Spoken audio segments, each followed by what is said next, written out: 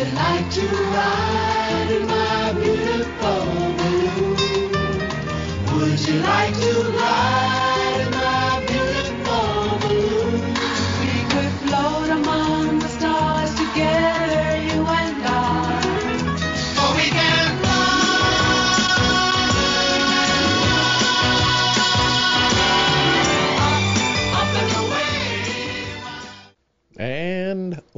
how did you like that for a little uh, very different sounder opener? Yes, from many many years ago, back when I was still a young man.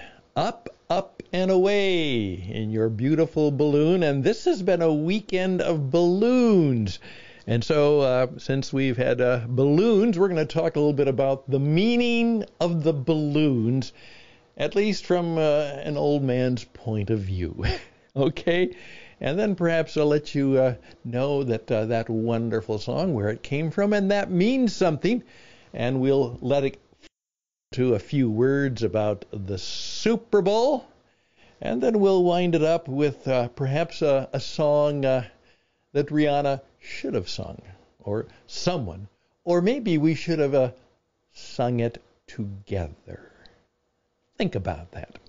That's the program uh, play for this Monday evening after you've had a busy, busy day, and uh, hopefully this will be a little bit uh, memory stimulating.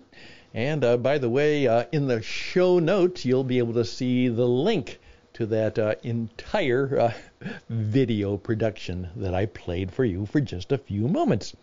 So, interesting ideas for a Monday evening to get you started on a challenging week. My name is Dan Houston, and that program begins right now.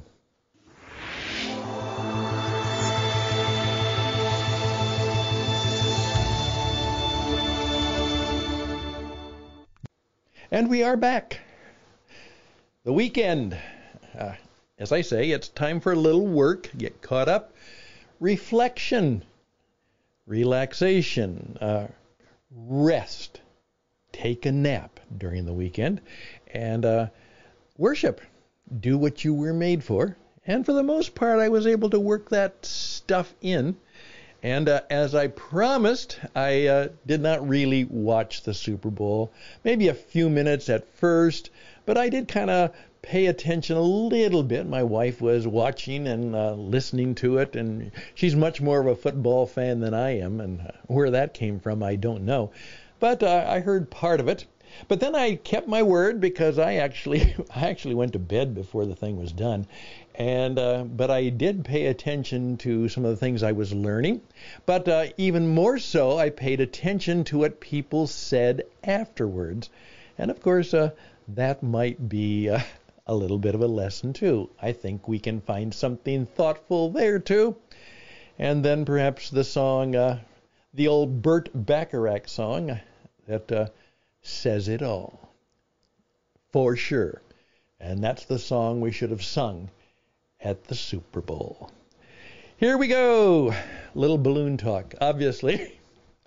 Uh, uh, by the time this is done, we might be on, uh, like the fifth dimension who sang the song, we might be up to five balloons, but we're up to four now. And um, here's the problem it's still, we don't know what they are or where they came from, what they were doing, and whether it means anything to us. Now, somebody might know, but uh, they haven't let us know. And so uh, here's the deal. In effect, this shows that unfortunately, the um, people who run the government things, they don't know what to do. Um, they're basically incompetent. And that's part of the problem that we have in the world today.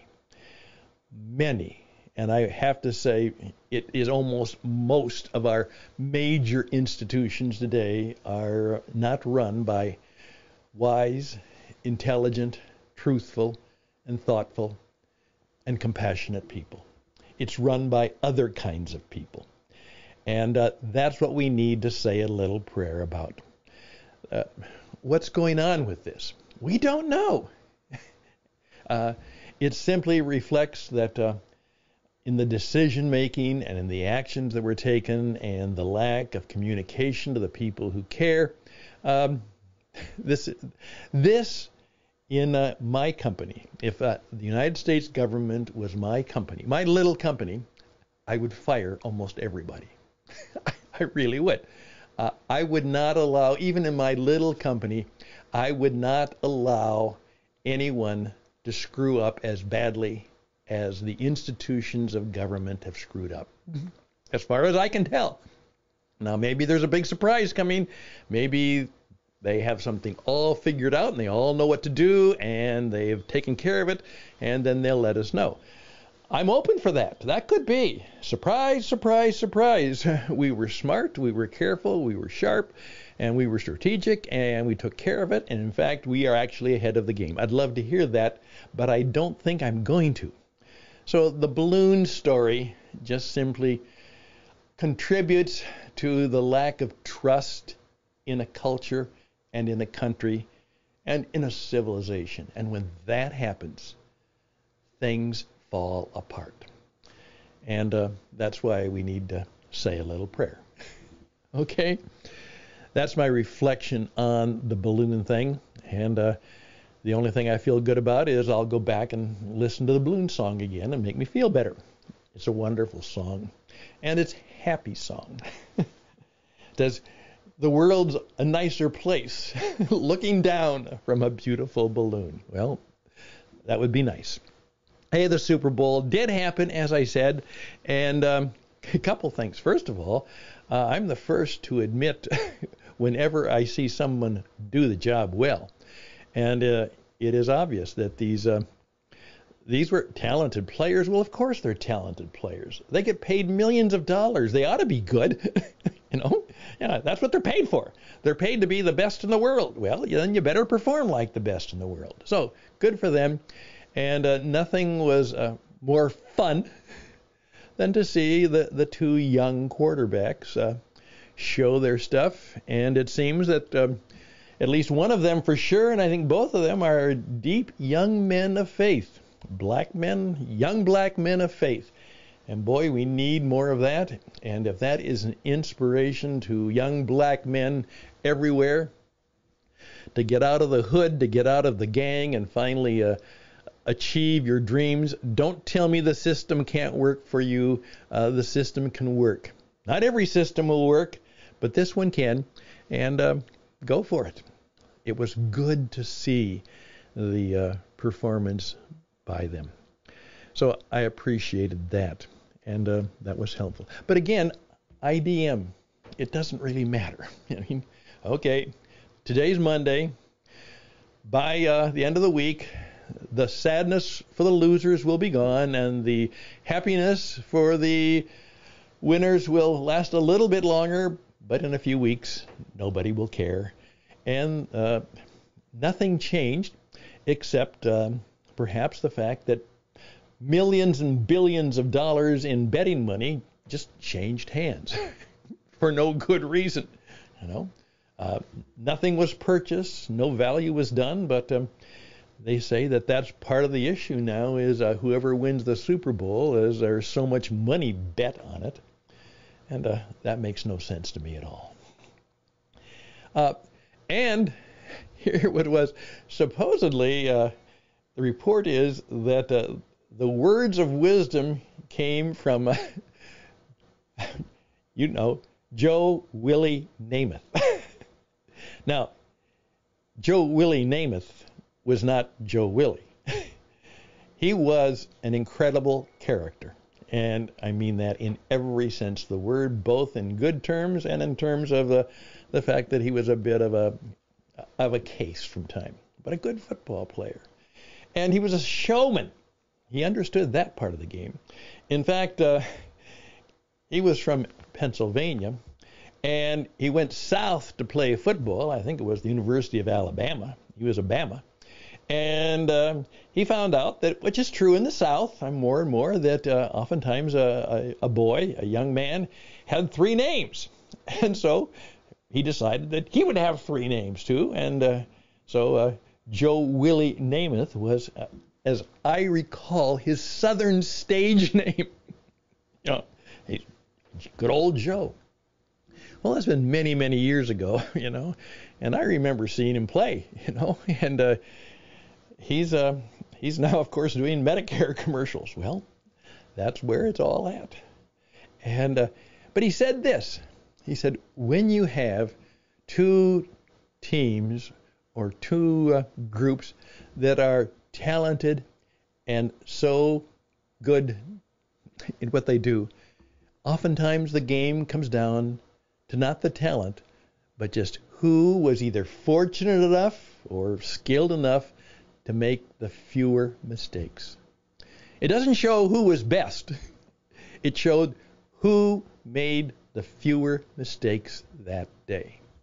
And obviously, this game could be replayed, and uh, what would happen? There's a very good chance that the Eagles would win.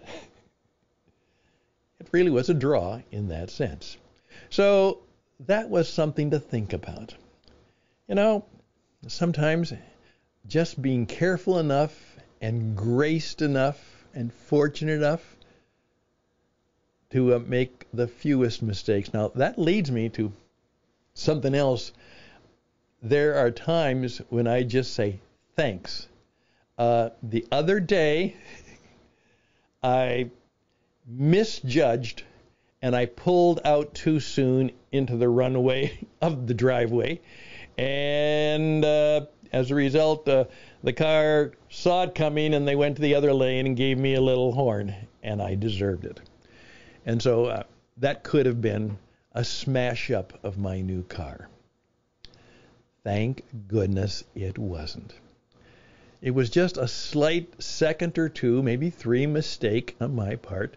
But you know, and what could have been a terrible smash up was just, you know, an inconvenience and uh, thank goodness and the guy didn't give me any particular he just you know and I gave him the little shrug and I thank you kind of and everything was okay but those moments are happening all the time in my life now when just things happen that could have in a second or two or three been a bad mistake but it wasn't I'm okay. Now, sometimes it probably will be, and it can be. But every time I have that sense, uh, I just simply say thanks. And uh, the only person that's hearing that is God Himself, because that's who I'm saying it to. Uh, and that was a wonderful insight. So, uh, part of the uh, wisdom from the Super Bowl is from quite a character himself, Joe Willie Namath. Hey, uh, I'm Stan Houston. I have a couple more things to say about the Super Bowl, and then uh, we'll close it up for this uh, Monday evening. I'm Stan Houston with interesting ideas, and this program is to help you get on the radio and make your mark in the marketplace by reaching and serving your audience. That's what we do, and we do it well, and we can help you.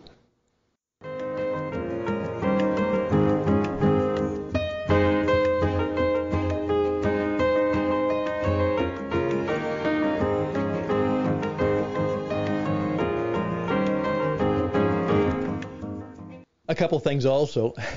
Just finishing up. Um, I'll probably talk about it tomorrow. Guess who was the highest paid player on the football field? Do you know who? Well, I think some of you know who she is, but we'll talk more about that perhaps tomorrow. That's right. Um, I did not watch the Super Bowl program, and I was right. Uh, I did watch a little bit of the highlights afterwards. It's this uh, great superstar performer, which I, I really know very little about. I've just heard her name, Rihanna, and the program. Um, now it wasn't it wasn't as offensive as some of them have been, but it was boring. it was just boring. Uh, there was, you know, there, there, there, there was nothing that as I say, a good program is here. Whenever it is, is it stirs my mind, makes me smile, perhaps moves my spirit and maybe even touches my heart and brings a tear to my eye. You know, it wasn't the black national anthem or the uh, Rihanna show, but uh, the coach for the Eagles did start to cry, and I'm told, at least the commentators said, that that probably because he says that every time he heard the national anthem for years, he had a vision in his mind that someday, by God's good grace and help, he would hear the soup, hear the national anthem as a coach at a Super Bowl team. That was what he had thought about every time he heard the national anthem. And there it was, a reality. And it seemed that halfway through a genuine tear, as he may have remembered of the uh, goodness that has come to him and maybe the grace that has played to him. And, uh, you know, I think that's really good. That's good. That's that's the show right there, maybe. You know, God in His goodness can make good things happen to us. But you know, sometimes it helps if you work really, really hard and you uh, have a vision and a prayer in mind. Which leads me to the follow thoughts.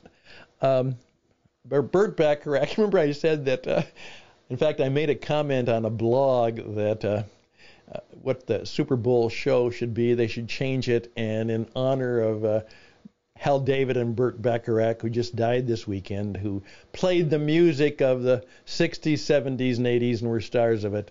Uh, it should be a medley of those songs and just a choir. No star. Don't give me any star.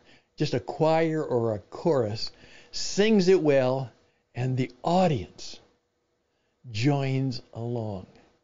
That's what it should be. And there should have been fun songs like, uh, you know, you know, do you know the way to San Jose? Teardrops keep falling from my head.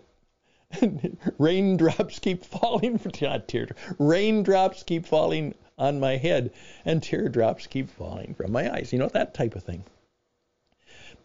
Uh, and uh, I loved the national anthem by uh, Pete Shackleton. You know, but you know that we're supposed to it's not supposed to be somebody who sings the national anthem for us. It's something we're supposed to sing together. And again why why not have a group of kids uh, of all colors kinds and stripes and characters singing the national anthem and we the audience and the audience in the whole world people are told We'll sing it together. That's what it should have been. That's what it should have been. Not a show. Uh, just simply a moment for millions of people to sing the same song together about something. I know the all. I mean, I still think the national anthem should be "God Bless America," you know, uh, something like that. But we all sing it together and uh, just bring. I mean, I've seen. I'm from Arizona, so I know that stadium.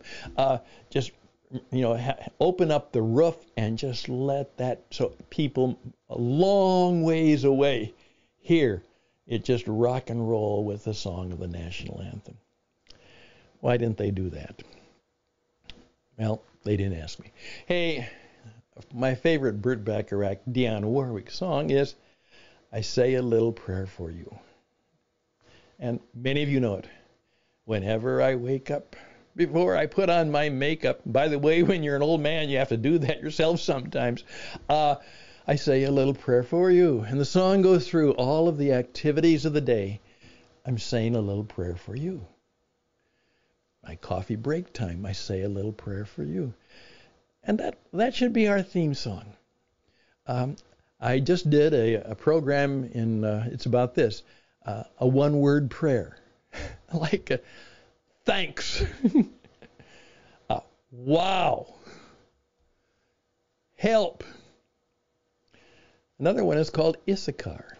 And I've just done a program about that one word prayer, Issachar. Um, and uh, Sometimes I I even pray pray the Bugs Bunny prayer, which is, you know, he says, "What's up, Doc?" Sometimes I just my prayer is, "What's up, God? What's up? What's up, God? Please let me know." I say a little prayer. And um, I say a little prayer for you. Thank you for your time. Um, as someone taught me the other day, one of the ways you might pray is you simply say, Lord God, be with the people whose life is not what they want it to be just now. Lord God, be with the people whose life is not what they want it to be right now. And that's true of many people I know, and in some cases for me, and for a lot of people I know. And I just simply say, if this is you, God, be with the people whose life is not what they want it to be right now. Best and blessings to you, and uh, share the wisdom, share the faith, share the strength, share the smile, share a good word, and say a little prayer. Best and blessings. Till next time. Bye for now.